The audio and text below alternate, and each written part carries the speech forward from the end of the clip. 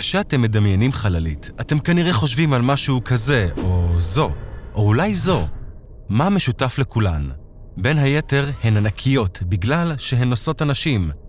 דלק וכל מיני סוגים של אספקה, ציוד מדעי, ובמקרים נדירים, לייזרים קוטלי פלנטות.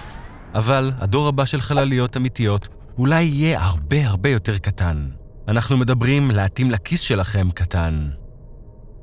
דמיינו שליחה של נחיל של המיקרו-חלליות האלו לגלקסיה. הם יוכלו לחקור כוכבים רחוקים ופלנטות על ידי נסיעה של חיישנים אלקטרונים מתוחכמים, שימדדו הכל מטמפרטורה לקרניים קוסמיות. אתם תוכלו לפרוס אלפים מהן בעלות של משימת מעבורת אחת. מגדילים אקספוננציאלית את כמות המידע שנוכל לאסוף על היקום.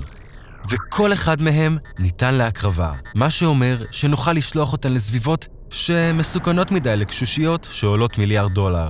כמה מאות חלליות קטנות כבר מקיפות את כדור הארץ.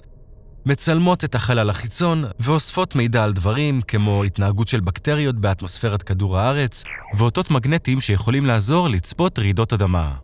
אבל דמיינו כמה עוד נוכל ללמוד אם נוכל לצאת ממסלול כדור הארץ.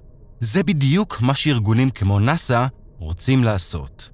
לשלוח מיקרו-חלליות לחקור פלנטות ניתנות למחיה, ולתאר תופעות אסטרונומיות שאנחנו לא יכולים לחקור מכדור הארץ. אבל משהו כל כך קטן לא יכול לשאת מנוע גדול או הרבה דלק, אז איך החלליות יניעו את עצמן? למיקרו-חלליות, מסתבר, אתם צריכים מיקרו-הנאה. בקנה מידה ממש ממש קטן, כמה מהכללים המוכרים של הפיזיקה לא חלים, בעיקר מכניקה ניוטונית יומיומית מתפרקת. וכוחות שבדרך כלל זניחים הופכים לחזקים. הכוחות האלו כוללים מתח או פעולה נימית, התופעה ששולטת בדברים קטנים אחרים. מערכות מיקרו-הנאה יכולות לרתום את הכוחות האלה כדי להניע חלליות. דוגמה אחת לאיך זה אולי יעבוד נקראת הנעת אלקטרו-ספרי מיקרו-פלואידית. זה סוג של מדחף יוני, מה שאומר שיעורי חלקיקים טעונים כדי לייצר מומנט. מודל אחד שמפותח במעבדת הנעת הסילון בנאסא הוא בגודל של כמה סנטימטרים בלבד. כך זה עובד. הפלטה בגודל בולדואר, מחוררת במאה מחטים זעירות, ומצופה במתכת שיש לה נקודת המסה נמוכה, כמו אינדיום. גריד מתכתי יושב מעל הסיכות, ושדה חשמלי נמצא בין הגריד לפלטה. כשהפלטה מתחממת, האינדיום נמס, ופעולה נימית מושכת את הנוזל המותח במעלה הסיכות. השדה החשמלי מושך את המתכת המותחת למעלה, בעוד מתח פנים מושך אותה חזרה, מה שגורם לאינדיום להתעוות לחרוט. הרדיוס הקטן של הקצוות של הסיכות הופך את זה לאפשרי לשדה החשמלי להתגבר על מתח הפנים, וכשזה קורה, יונים טעונים חיובית נורים, במהירות של עשרות קילומטר לשנייה. הזרם הזה של יונים מאיץ את החללית בכיוון השני, תודות לחוק השלישי של ניוטון.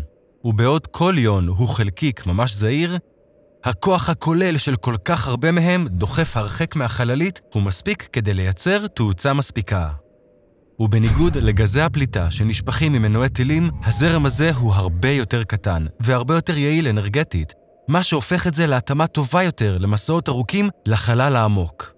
מערכות המיקרו-הנאה האלו לא נוסו עדיין לגמרי, אבל כמה מדענים חושבים שהן יספקו מספיק דחף כדי לחלץ חלליות קטנות ממסלול כדור הארץ. למעשה, הם צופים שאלפי מיקרו-חלליות ישוגרו בעשר השנים הבאות, כדי לאסוף מידע שהיום אנחנו רק יכולים לחלום עליו. וזה מיקרו-מדע טילים. המשיכו ללמוד עם הסרטונים האלה, ואל תשכחו להירשם. לעולם אל תחמיצו את ההזדמנות ללמוד משהו חדש. Thank you.